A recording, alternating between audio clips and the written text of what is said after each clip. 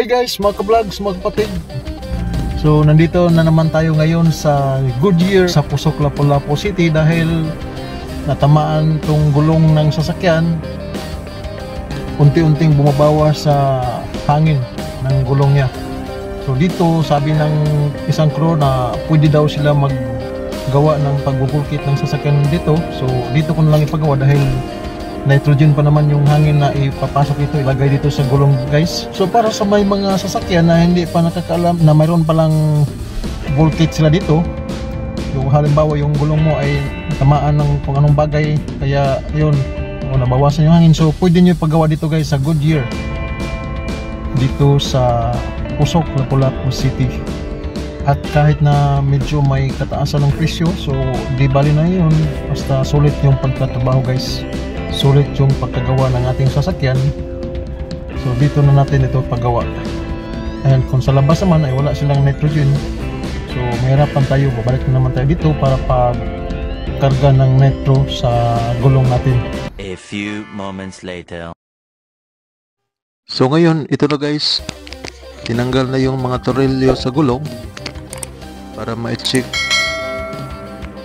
kung anong nakaumang sa loob ng gulong. So dito lang po ito guys sa Pusok, Lapu-Lapu City, Goodyear Auto Care. So dito lang po ito sa likuran ng Shell Gasoline Station, mga vlogs. So ayan, natanggal na yung gulong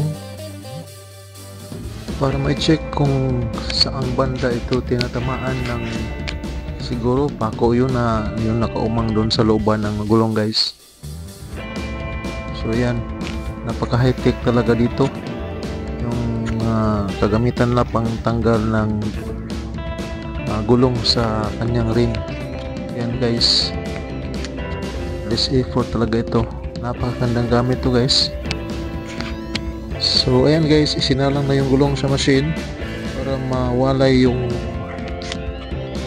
rim at saka yung uh, gulong. So ang dali-dali lang guys, oh. Ayan. Tanggal na yung rim sa kanyang gulong. Ayan. So ngayon inilipat ko dito guys para malagyan na ng pantapal sa yung butas ng gulong. yan ipinakita sa crew sa atin na may nakaumang pa pala na pako dun sa looban guys yan tingnan natin may pako na nakaumang pa dyan. Yan yung tatanggalin niya at dyan yan ilagay yung tapal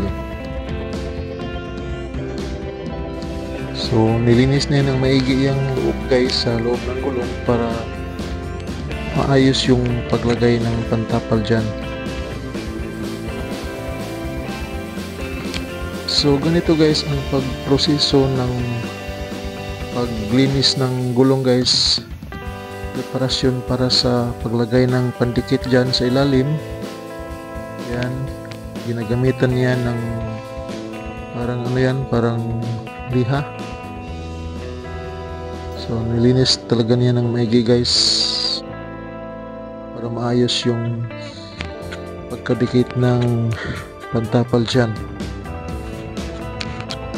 Yan sinasabi ng crew na kapag hindi maayos ang pagkalagay sa pantapal ay talagang matatanggal yung ikinakabit dyan.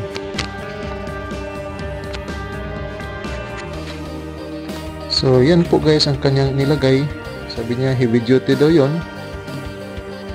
Yan hindi, da, hindi na daw yan matatanggal. So yan po guys inayos-ayos lang yan maigi para pastada yung pantapal dyan sulit talaga guys. Sulit na sulit talaga yung service dito sa Goodyear Auto Care dito sa Pusok Lapu-Lapu City guys.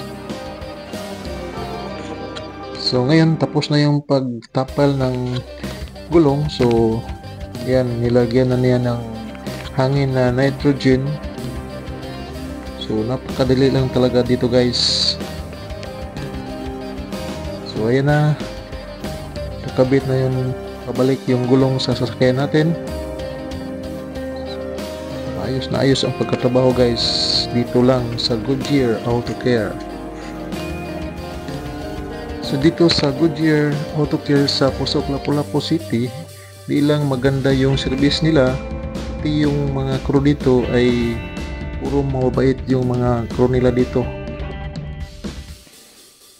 Kaya dito kami pumalagi kapag ganyan ng mga paayos ng sasakyan So, pumunta na tayo dito sa loob guys para magbabayad sa ating obligasyon. Five minutes later. So guys, sa wakas natatapos na rin. Natapos na rin itong paggagawa natin sa gulong na yun, may naka umang na pako sa loob ng gulong guys. Kaya yun, palaging nagbabawas ng hangin. Ngayon ay uwi na naman. So, thank you for watching guys. Maraming salamat sa inyong panonood. Hasta la vista, bebe!